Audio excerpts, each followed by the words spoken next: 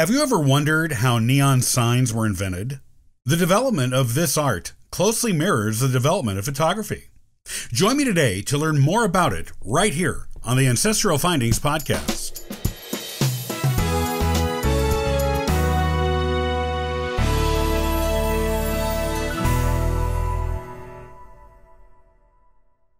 I recently had the opportunity to visit the American Sign Museum in Cincinnati.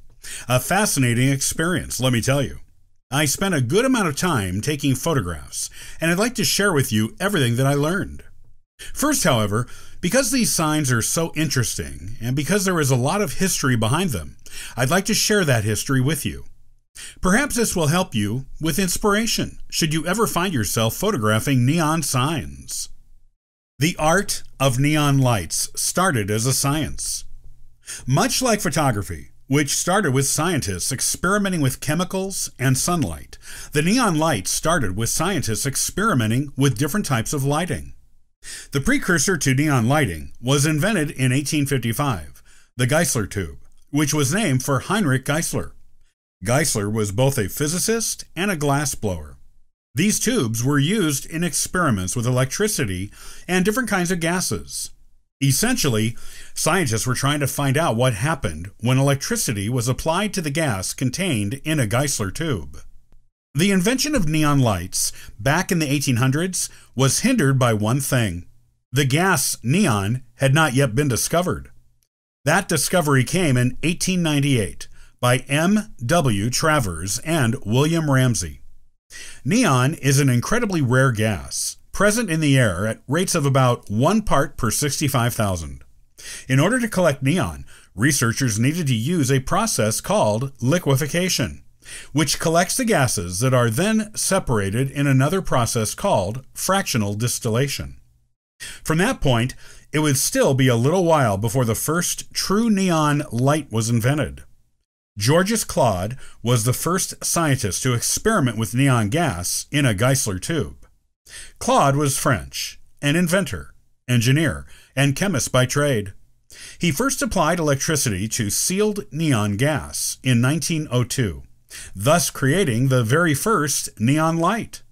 He continued to refine his design, and on December 11, 1910, he put his first neon light on display in Paris. Claude's first light, much like the first cameras, wasn't anything fancy. It would take a couple more years of developing the technology in order to turn these lights into the beautiful neon lights we know today. Originally, neon lighting was red, a very distinct color. So, Claude and others worked on ways to create lights of other colors. Meanwhile, Claude set about trying to market his neon lights. In 1912, he sold the world's first piece of neon advertising, a sign for a barber shop in Paris. Then, in 1913, he sold a sign that spelled Cinzano in massive three and a half foot letters. Claude knew he was onto something, so he filed for a United States patent in 1911. He also started his own company, Claude Neon Lights, Inc. Over the years, he developed both red and blue lights, one of which rested at the entrance of the Paris Opera House. In 1923, Claude's big breakthrough came. An auto dealer in Los Angeles by the name of Earl C. Anthony ordered two signs for his dealership. Each sign read Packard after the cars he sold, costing him about $24,000, a sum that would be worth more than 300,000 today. With that, the neon sign as we know it today was born. Georges Claude became famous, and neon signs were common everywhere by the mid 1900s. Claude passed away in 1960, but not before that most famous of neon cities, Las Vegas, was already starting to roll out its bright lights. Neon lighting and photography. The invention of neon lighting parallels the invention of photography in so many ways.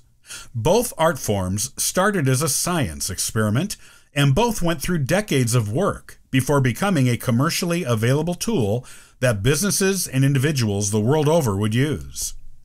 Just as photography went through a period of development that brought us the color image, so too did neon lighting. Originally, these lights were red, then red and blue. Later on, other gases were added to these tubes to create the beautifully colored lights that we know and love today. The most interesting parallel, I think, is that both art forms are based solely on light. Neon lighting is the production of light in beautiful colors and shapes. Photography is the capturing of that light, the recording of those shapes and colors. Perhaps that is why it feels so natural to create art centered around these lights, because the two mediums complement each other so well.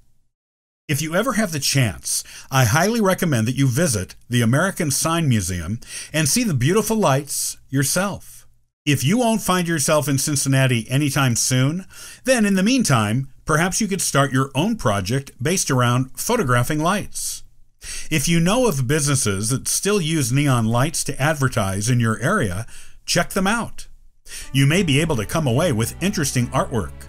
Even if you don't know of a good place to see these lights in all their beauty, you could focus your efforts on other types of lights, like candles, chandeliers, or interesting lamps. No matter what you decide to do, hopefully, what I've shared here today inspires you to create something amazing.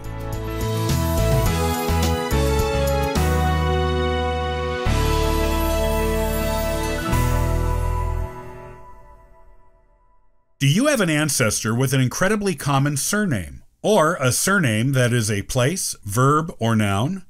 These people can be tricky to identify in old records. Join me in the next episode, and I'll give you some tips for searching for them and finding them in old newspaper records. All you need are some fancy search tricks to reveal your ancestors. Thanks for joining me today.